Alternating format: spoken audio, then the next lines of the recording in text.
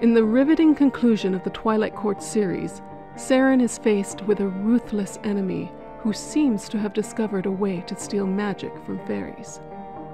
All evidence points to Lana Clach, ex queen of the Colorado Underground, but the councils aren't convinced. Can Ambassador Seren prove Lana's guilt before it's too late? Or is the future already etched in stone?